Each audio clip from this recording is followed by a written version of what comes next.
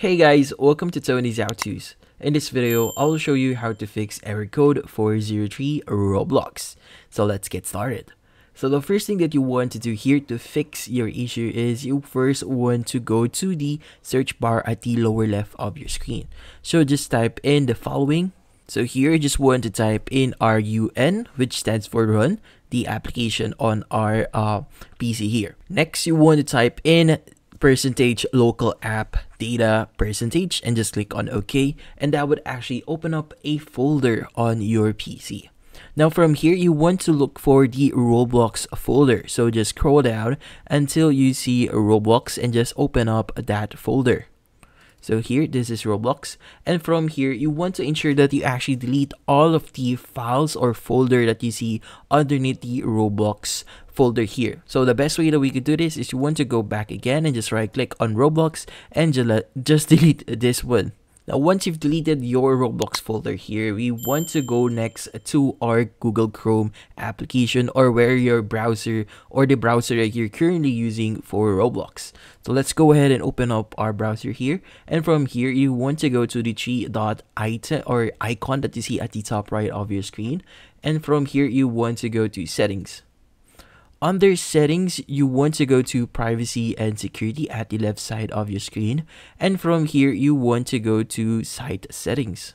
Under site settings, you want to scroll down a bit until you see the cookies and site data option. So just click on it. And from here, you want to scroll down a bit until you see the section that says see all site data and permissions and just click on it. Then from here, you want to look for Roblox and Roblox, you just want to click on the remove Roblox option here. That's the trash can icon next to Roblox. So here, just click on it and from here, just click on clear. So once you've done that, the next thing that you want to do here is you want to go to your control panel or to the installation settings on our PC. So go ahead and go to your Windows at the bottom left of your screen and you want to go to settings. Under settings, you want to go to apps and under apps you want to search for roblox player here. So go ahead and search for roblox. Now here once you've located roblox you just want to go ahead and uninstall roblox player here and from here uninstall and just click on uninstall once you've uninstalled roblox you want to go ahead and go to roblox.com again and log in into your account once you've logged in, you want to go ahead and just open up any game that you see on your PC. And from there, the Roblox process to be uh, installed again on your PC will start. So from there, just uninstall again Roblox and you should be good. So once you've installed Roblox again on your PC, that should actually solve your issue. But if that doesn't solve your issue, then we have another way for you to try to resolve this issue. So here, just locate your Roblox player on your screen and just right click on it. And from here, you want to go to properties and here you want to go to compatibility. Under compatibility, you want to ensure that the disable full screen optimizations and run this program as administrator is actually enabled for this one. From there, just click on apply and just hit on OK. If that doesn't solve your issue, then we have another way for you to try and resolve this. So the first thing that you want to do is you want to go to Windows search again and just type in control panel. Open this up and from here you want to go to network and internet. And here you want to go to network and sharing center.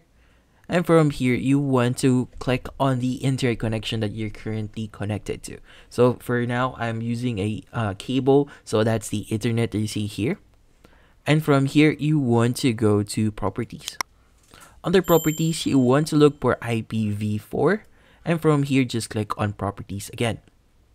And from here, instead of using obtain DNS server address automatically, then we want to actually use the use the following DNS server addresses.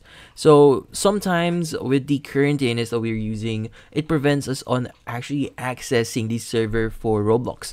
So to solve this issue, we want to actually change our DNS server to the other DNS servers that we could readily use online. So one of those DNS servers is the Google DNS server.